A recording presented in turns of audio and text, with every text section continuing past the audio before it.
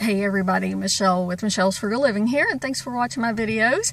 And today is April the 7th of 2017, and coming on to do a couponer chat with you guys today about copying internet printable coupons and uh, buying internet printable coupons and why it's wrong, okay?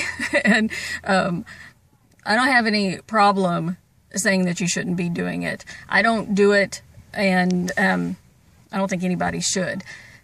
So, um, I get a lot of questions from new couponers. They come to me um, to ask, you know, I saw so and so do this. Is this right? And that kind of thing. And I made a video a few days ago about bad um, uh, couponing behavior to put my opinion out there for people um, and people can decide for themselves where they want to draw their line in bad couponing behavior. And, um, you know, I'm not out to tell anybody what to do um, or how to live their life. I'm I, um, providing an opinion for people um, and information for people.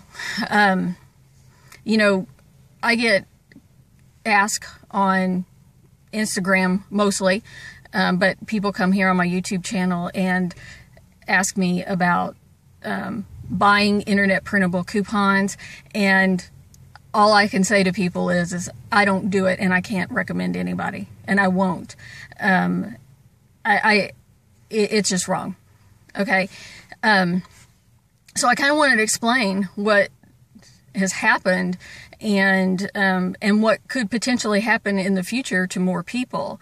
Okay, so in case you don't know, there there are people out there who have um, written little computer programs to run or whatever or instructions on how to get um, as many unlimited prints of coupons off of coupons.com that you want on one computer. And those people then are selling that information in a little computer program to other people so that they can do that. And um, is that right or wrong? Um, to manipulate the uh, print procedure with coupons.com. Uh, um, that's not for me to decide. I don't. I don't think that that's too ethical of a behavior, but um, you know that's up to coupons.com to uh, prosecute people over that if they want to, and stop that um, what happens is is that people are then taking that information on how to get multiple prints. And they are literally making going to coupons.com and printing off a lot of valid coupons. Now the first time that they get that coupon and print it it is a completely valid coupon. Okay? And they have the unique code on them and whatever. What they're doing is is then they're putting three of them per page creating PDF files, and then they'll sell them in lumps of, I don't know, 20 or 50 um, coupons to somebody. And they will email that uh, file to someone. And presumably the person is paying um, using PayPal or some uh, electronic pay payment system like that to pay the person for it. Um, the problem comes in do you trust this person that you're buying these coupons from? That those coupons those 20 coupons that you just purchased from them that you're the only one who has those coupons okay? And are you only printing them out one time all right? You don't know if that person took that same 20 coupons and sold them to 50 different people all right? And so there now there's 50 copies of those exact same coupons. Is that right? That's that's just not right. Okay, and um, now could there be people out there who are legitimately pulling, you know, a hundred of the coupons, legitimate copies of the coupons, and they're only selling at one time? Yeah, that could be happening. But what happens on the end when the person buys the coupons? So this person bought coupons from that person and they printed them out used them themselves, but they decided to make some cash and they sold them to somebody also. They sold a copy of it. So the person who's printing them is trying to justify in their head that I only sell one copy of each of the coupons that I created. But then what happens after they sold it? They have no clue because you could turn around and sell that same PDF to a lot of other people. And how many times is a person printing out the copy that they bought. You know, buy as, as, as few as you can from this person who created this PDF with 20, but I want to buy a hundred of this product, you know, so that person then prints it out five times. So they have a hundred coupons. Okay. That's not right. All right. That, that is in the class of illegal behavior. Okay. And you can be prosecuted over that. Um, so, um, Quotient Technology, the parent company of coupons.com, they are not a little mom and pop company. They are a corporation that is traded publicly on the New York Stock Exchange. They're a large company. They make a lot of money, okay? and they have the power to hire attorneys and come after people who are doing this. And they did to a woman in Ohio recently and made a settlement with her um, because this is what she was doing. She had that software. She was printing up lots of coupons and selling them to people. Okay. Now, whether she was making, selling duplicate copies of the same thing, I have no clue. But, you know, now she's banned for life from using coupons.com. All right. Um, but they very easily, and who knows what they actually did. Did she have to pay them restitution?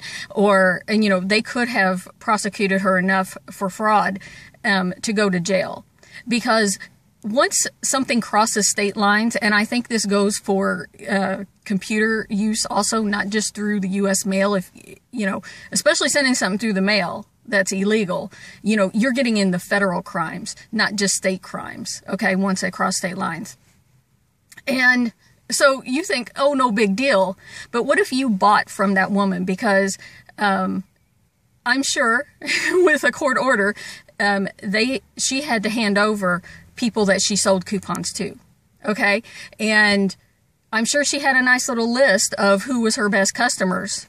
Okay, what if you bought from her and now coupons.com has your name and they and coupons.com wants to go after you, okay, and come and find you and see what you're up to. What are you doing with these PDFs, uh, printable coupons that this lady created? And so that drags you into it. All right. And so you, you have to think about those kind of consequences that it's just not you buying some coupons from some unknown person on the internet. Okay. And it's not like that. Um, I, I looked at some printable coupons and this um, Kimberly Clark, who owns Kleenex and Huggies and stuff, if you get one of those out and read, um, theirs had the harshest words on it out of any of them that I could find. Um, reproduction, alteration, proliferation, or sale of this coupon or its contents is strictly prohibited. Civil or criminal penalties up to $2 million and or imprisonment may apply. And it says void if copy, scan, transferred, auctioned, reproduced, uh, purchased, sold. Okay, so it, it's it's a problem. It's a real problem and it is a crime. And that's what I want people to understand and um, take into consideration if you're thinking about just even photocopying, printing out some coupons and be like, oh, I'm mad at coupons.com um, now because I can only get two prints because it requires my telephone number and and so you're going to put them on the photocopier and photocopy them. And you think that it's a victimless crime, but it is not. And uh, you got to think twice about doing something like that. Um, and what happens is, think about it in these terms that because you want to have lot more coupons, the person buying wants to have all these coupons, it creates a market for people to write that program so that they can get multiple prints of a, of coupons so that they can sell them. It, it the people buying initiates the problem because it creates the market for there to be people doing it, doing this illegal behavior, and, and everybody involved in it is participating in illegal behavior. And um, it's just this vicious circle. And, you know, how many times have you been like, really upset because you saw someone post a really hot coupon for $4 off of Huggies on coupons.com and by the time you got there, it's already out of print. Well, you know why it's out of print? Because these people have these computer programs that are generating all of the coupons. They're taking up all of the prints that are available and then they're turning around and selling them for a profit. And that's how it hurts other people, just the average person who wants to go to coupons.com and get a $4 Huggies coupon because they need some diapers. Okay. And, and it creates this big vicious cycle. And even purchasing them and you think that you trust this person who's doing this, it, it just creates this cycle. And then, you know, people who are trying to do the right thing and just print off two coupons they're not even there for them to print. Okay. Um, and and why do you think that coupons.com is changing? And eventually, you're going to be forced into using your cell phone number and getting a text message from coupons.com. You know, I still have on my computer at home. I can ignore putting in my phone number and I can still print without putting in my phone number. But that's going to go away one of these days. They're going to make it completely you know, and then I'm going to be stuck with I have one cell phone, one phone number. And and so I'll only have two prints. But right now I can get three prints. Okay? and that's but this they're having to do this to cut down on this fraudulent behavior of um, these people with these computer programs that are just generating all these these uh, coupons and everything.